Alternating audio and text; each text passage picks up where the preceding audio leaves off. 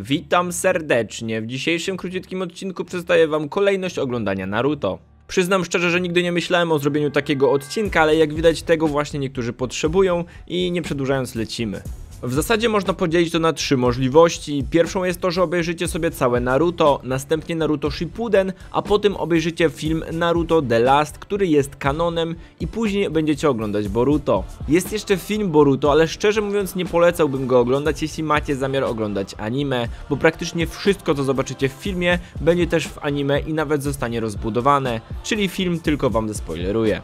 Druga możliwość to oglądanie tego w kolejności, w której zostało to wypuszczone i jest to nieco bardziej skomplikowane. Zaznaczam, że mówiąc do którego odcinka mam tu na myśli oglądania włącznie z tym odcinkiem i wygląda to w ten sposób.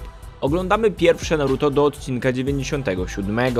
Następnie oglądamy pierwszy film o nazwie Starcie Ninja w Krainie Śniegu.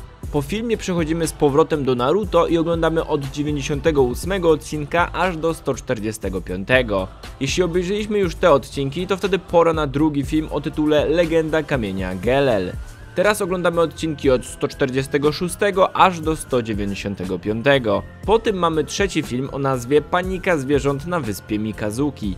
Jeśli obejrzeliśmy film, możemy śmiało oglądać do końca pierwsze Naruto i rozpoczynać od razu Shippudena do odcinka 23. Po odcinku 23 oglądamy pierwszy film Naruto Shippuden. Następnie możemy kontynuować oglądanie serii od odcinka 24 do 69. Teraz czeka na nas drugi film Shippudena o nazwie Więzi. Po filmie dostajemy kolejną porcję anime w postaci prawie 50 odcinków, czyli od odcinka 70 do 118.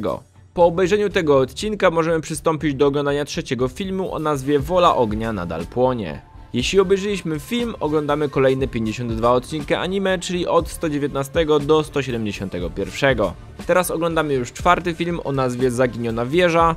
Znowu oglądamy 50 odcinków anime od 172 do 222.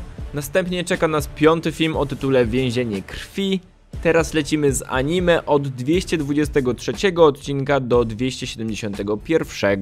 Kolejny już szósty film o nazwie Droga do Ninja.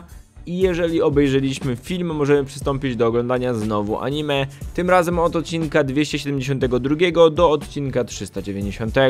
Teraz czeka nas moim zdaniem najlepszy film, czyli The Last, czy jak to woli ostatni.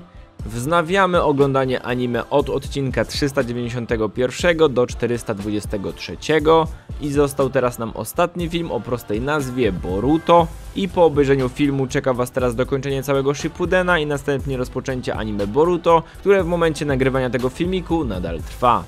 Trzecia możliwość to moja personalna opinia, którą sobie wyrobiłem już po obejrzeniu wszystkiego tego, co mówiłem w drugiej możliwości. Mianowicie, jeśli miałbym oglądać, to ponownie obejrzałbym to tak.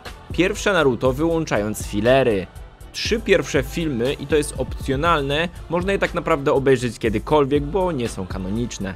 Naruto Shippuden wyłączając filery, film Naruto The Last, Następnie filmy Naruto Shippuden od pierwszego do szóstego i też to jest opcjonalne. To samo co poprzednio, są one niekanoniczne, więc w ramach rozrywki można je obejrzeć, bo niektóre są naprawdę interesujące i bardzo ciepło je wspominam.